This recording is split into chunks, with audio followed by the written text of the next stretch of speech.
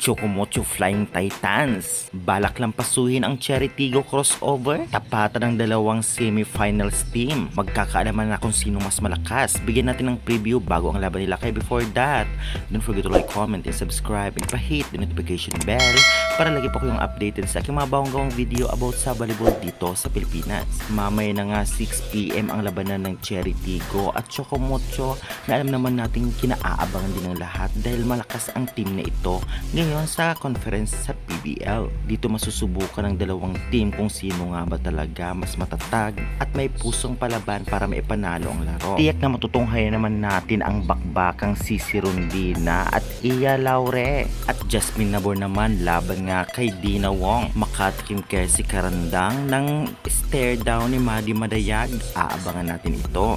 Direct magbe-base po natin sa kanilang skills kung sino mas lamang o sino mas magaling, mapa-opensa man, depensa, settings at service ay halos pareho naman magaling. Ang team na ito kay magkakasubukan na lamang kung sino nga ba ang mas mas gustong manalo sa ngayon. Upang manalo ang Cherry Tigo crossovers, laban nga sa Chocomocho Flying Titans ay kailangan nilang pigilan ang unstoppable wing spikers na si Cici Rondina na dapat mawala ng laro kung sakali man bantayan nila si Sisi at itong si Caitlyn Biray kung hindi itong si Kat Tolentino para maipanalo ng Cherry ang laro mamaya.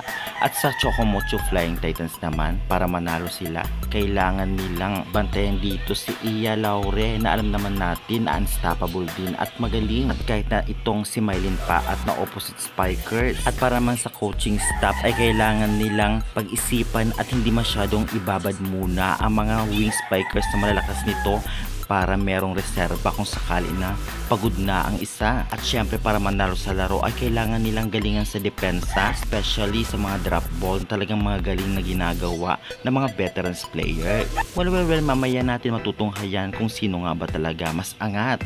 Kaya guys, ano ang masasabi ninyo? At sino sa tingin ninyo ang mananalo? Chocomocho kaya or Cherry Tigo crossovers? I-comment na yan at huwag kalimutan mag-like subscribe for more updates.